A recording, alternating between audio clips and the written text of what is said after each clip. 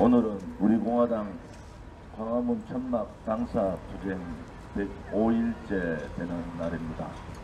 박근혜 대통령께서 어, 정말 전 세계 유례를 볼 수 없는 정치 보복을 당하고 있고 인신강금 되신 지가 875일째 되는 날입니다. 어, 내로남불 정권이다 이런 얘기들이 있습니다만은 어, 도로 국불 정권이다 이렇게 국민들이 보고 있습니다. 조국이 하면은 로맨스고 국민이 하면은 다 불륜이다 이런 상황들이 전개되고 있는데 요즘 각 언론 방송에 조국 법무부 장관 내정자에 대한 얘기들이 많습니다. 입에 담기도 싫을 정도의 정말 악취가 납니다. 결국 진보를 자처했던 좌파들은 진보가 아니었습니다. 진보의 이름을 걸고 그야말로 대한민국의 법을 일탈하고 사회관념을 일탈하고 청년들의 기본적인 노력을 무시해버린 그러한 가족 경제 공동체를 이룩하고 있었습니다. 과연 이 조국이라는 자가 어떻게 서울대학 교수직을 하고 있는지 어떻게 이 문재인 좌파 독재 정권의 2인자로 있을 수 있었는지 조국이 검증했던 그 많은 인사들이 왜 그런 많은 문제점이 있었는지 이제는 알 수가 있을 것 같습니다. 지금이라도 조국에 대해서 인사청문회 뿐만이 아니라 국정조사, 특검을 해야 합니다. 이것은 뭐 한 곳에서 건드려야 될 문제가 아닌 것 같고요. 교육부, 대학, 어? 법무부, 어? 그 다음에 투자 관련 세- 국세청, 이렇게 각자 각자 검찰도 마찬가지입니다. 도저히 상상할 수 없는 일이 벌어졌습니다. 그런데도 저 수사파들이 들끓고 있는 청와대에서는, 저과대에서는 조국의 의혹이 부풀어졌다고 합니다. 국민들을 더 열받게 하는 것은 지금이라도 사퇴를 시키고 문재인 씨가 대국민 사과 성명을 내도 될까 말까 한데 지금 의혹이 부풀어졌다고 청와대의 각 부서마다 반격을 하고 있습니다. 이제 국민들께서 우리 공화당이 그동안 왜 이 문재인 좌파 독재 정권의 거짓, 불법, 내로남불, 무책임, 무능에 대해서 얘기를 하셨는지를 아실 겁니다. 박원순 시장의 딸에 대한 부분도 재조사를 해야 됩니다. 도대체 어느 대학에서 그렇게 학과 전환을 그렇게 쉽게 할 수가 있습니까? 지금 좌파들이 존경한다는 소위 말하는 좌파 지도자들에 대한 전면적인 수사가 필요합니다. 이런 일들이 한두 건이 아닙니다. 언론 방송이 민노총에 장악된 언론 방송이 덮어버리고 그 문제를 제기하면은 아무 근거 없는 공격이라고 얘기하고 우리 공화당이 2년 반 동안 좌파 독재 정권의 실정뿐만이 아니라 그들의 무책임, 그들의 불법성을 호소하고 또 호소했습니다. 국민 여러분, 이제는 국민 여러분들께서 채찍을 드셔야 됩니다. 저런 자를 법무부 장관에 앉히면은 대한민국의 사법개혁은 어떻게 되겠습니까? 그 사법개혁은 소위 말하는 좌파들이 장기 집권하기 위한 그러한 수단의 사법개혁밖에 안 하지 않겠습니까?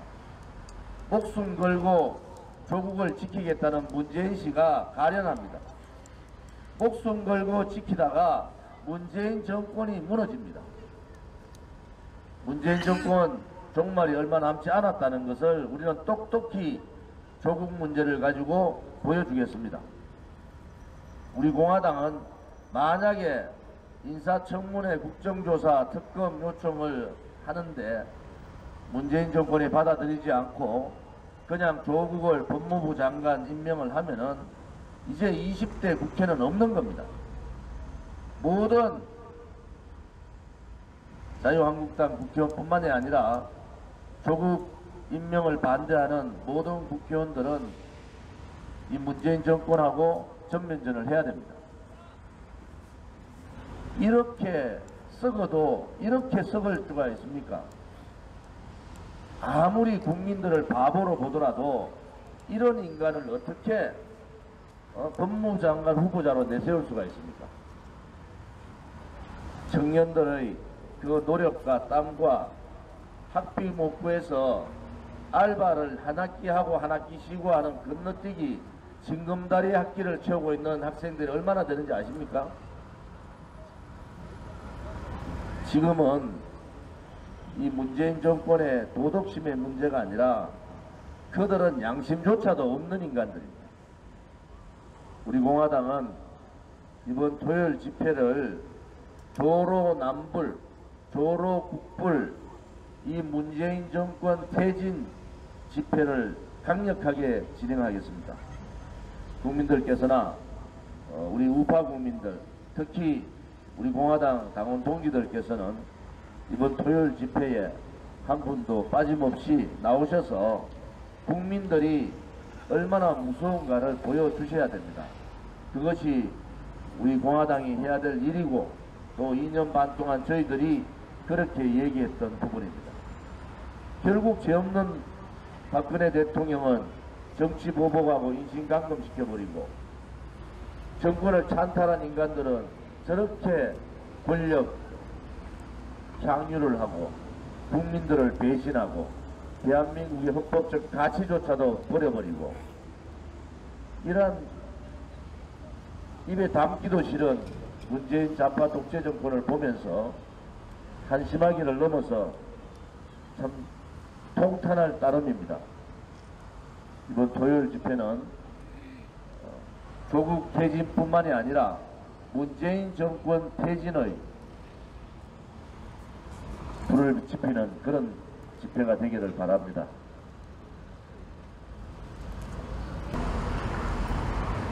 어, 작년 연말에 박원순 시장 딸에 대한 얘기가 대단히 많았습니다.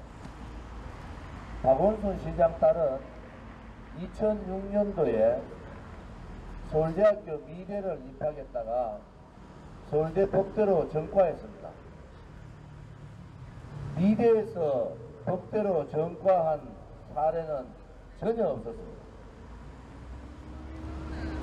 미대 2006년 전과 합격자들 중에서 최저 학점을 받고 받고도 미대에서 법대로 전과가 된 겁니다. 조국은 그 당시에 미국의 연구소에 방문 학자 신분으로 가 있었다고 하는데 이거 다시 기해야 됩니다. 아니 서울대 법대를 미대를 갖다가 서울대 법대로 옮길 수 있으면 그것도 전과자 중에서 가장 최저 학점을 가지고 서울 법대를 옮길 수 있다는 것은 누가 보더라도 박원순 딸이기 때문에 가능한 겁니다. 도대체 그 당시에 박원순하고 조국이 어떤 관계가 있었는지 작년 연말에 이 얘기가 나오다가 좌파 신문들, 언론들이 엄청난 어, 공격을 하는 바람에 덮여버렸어요.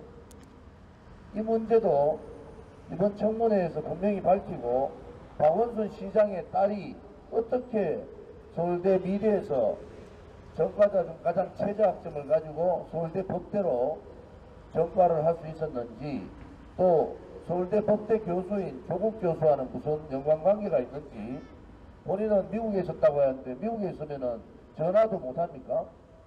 그다 연결할 수 있는 거잖아요. 사람 보지 않고도 다 할 수 있는 거 아닙니까? 그런 의혹에 대해서 분명히 밝혀야 됩니다. 이게 말이죠. 가장 도덕적이라고 국민들한테 무슨 어? 도덕 프레임은 다 가지고 말이죠. 어, 자기들이 가장 올바르고 가장 진보적이고 서민들은 가장 자기들이 가장 생각하고 청년들은 자기들이 가장 아낀다는 그런 생각을 하고 있는 소위 말하는 조국과 박원순의 실체를 이참에 밝혀야 되는 거예요. 왜 한 번도 선례를 선례가 없는 일들이 서울대학교에서 그런 일들이 왜 벌어집니까? 서울대학교 학생들이 분노하면서도 교수들 눈치 보느라고 얘기를 못 한 거예요. 이제는 조국 딸 문제뿐만이 아니라 박원순의 딸 문제도 밝혀야 됩니다. 그것이 진보 좌파를 주장하고 있는 서민 코, 코스프레를 하는 그런 사람들에 대한 대대적인 조사가 지금 필요하다. 저는 이 두 사람뿐만이 아니라고 봐요. 그들의 커넥은 커넥션을 통해서 서로 밀어주고 서로 당겨주고 그러한 일들을 좌파들은 서슴없이 했다는 것을 우리는 알 수가 있는 겁니다. 우리 공화당도 박원순 딸에 대한 부분도 철저하게 이번 청문회 자료를 공급해서 어, 국회 법사위에 청문회 위원들에게 자료를 공급해서 이 문제에 대해서도 철저하게 따져야 된다. 그 다음에 지난 7월 달에 청년 실업률이 9.8%입니다. 99년도에 책정 이후에 최고의 실업률을 청년 실업률을 기록한 거예요. 청년 체감 실업률은 23.8%입니다. 청년들은 스펙 쌓고 취직하고 학교 가고 어, 알바하고 이 모든 것을 4개, 5개를 한목에 하는 거예요. 청년 실업률이 최저 기록을 했던 문재인 좌파 독재 정권은 청년들한테 조국 사건을 계기로 석고 대제하고 국민들한테 특히 청년들한테 어? 정말 사과를 해야 됩니다. 이 청년들이 무슨 죄가 있습니까? 문재인 좌파 독재 정권 정책 때문에 청년 실업률이 99년 통계체 이에 최저 또 지금 실업률 뭐 인- 저거 취업 증가율이 뭐 29만 됐다는데 그거 실질적으로 가보면 다 거짓말이에요.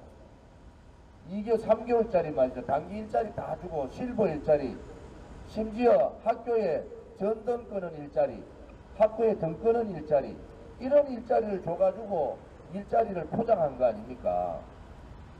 청년의 문제하고 청년 실업 문제 또 청년 일자리 문제 이런 문제에 대해서 우리가 좀 더 철저하게 문재인 좌파 독재 정권의 실정을 우리 공화당은 파헤쳐야 된다 이런 생각을 가집니다.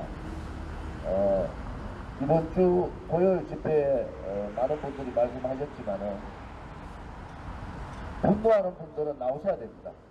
문재인 정권이 잘못됐다고 생각하고 문재인 정권의 정책에 불복종하는 분들도 나오셔야 돼요. 조국이가 절대로 법무부 장관 해서는 안 된다는 분도 나오셔야 되고 각 대학의 젊은이들 또 직장을 가지고 한 취업 준비생들 다 이번 토요일에 나오셔야 됩니다. 나오셔서 여러분들이 목소리를 내셔야 됩니다. 그래야지 문재인 좌파 독재 정권의 내로남불, 주사파 밀어치기, 밀어내기 이런 부분들이 중단이 될 수가 있어요. 국민들이 가만히 있으니까 이 민노총에 장악된 언론 방송들이 그냥 있으니까 국민들이 모르는 줄 아는데 국민들 다 알고 계시잖아요. 이제는 침묵하지 마시고 이번 토요일 날 1시에 전체 서울역으로 오십시오. 그래서 우리가 살아있음을 대한민국의 진실 정의가 대한민국의 젊은이들이 살아있음을 우리가 국민들께 보여드리고 또 국민들께 용기도 드리고 문재인 좌파 정권의 퇴진에 큰 벽을 긋는 그런 집회가 되기를 바랍니다. 어, 이것으로 오늘 최고 지도부 회의는 마치도록 하겠습니다. 감사합니다.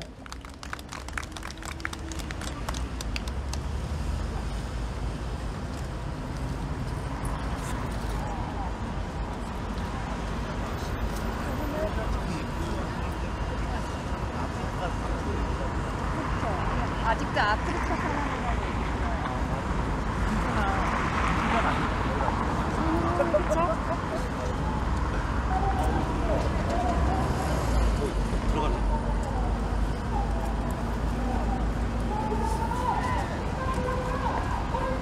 지금 햇볕이 한여름 그 땡볕이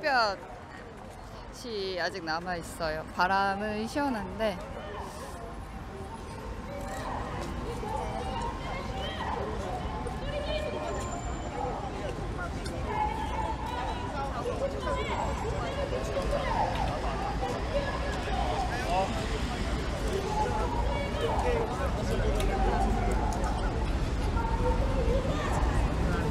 그 채팅창에 발언을 올려주실 때는 민원 부분이나 뭔가 의견 개진 이런 부분은 민원실로 접수를 해주시기 바랍니다. 채팅창에 올려주셔도 제가 뭔가 할 수 있는 위치가 아니기 때문에 민원실로 개선 사항에 대한 부분을 접수를 해주시고요. 그리고 의견 개진을 해주실 때는 최대한 뭐 불만 섞인 부분이 표출되지 않도록 가- 같은 채팅방에 있는 분들도 오해를 받고 감정이 함께 상하실 수 있기 때문에 논쟁이 붙을 수 있는 부분이기 때문에 조금만 어, 그 부분에 대해서 염두를 해주시면 좋을 것 같습니다. 그리고 오늘 일정 안내해 드릴게요.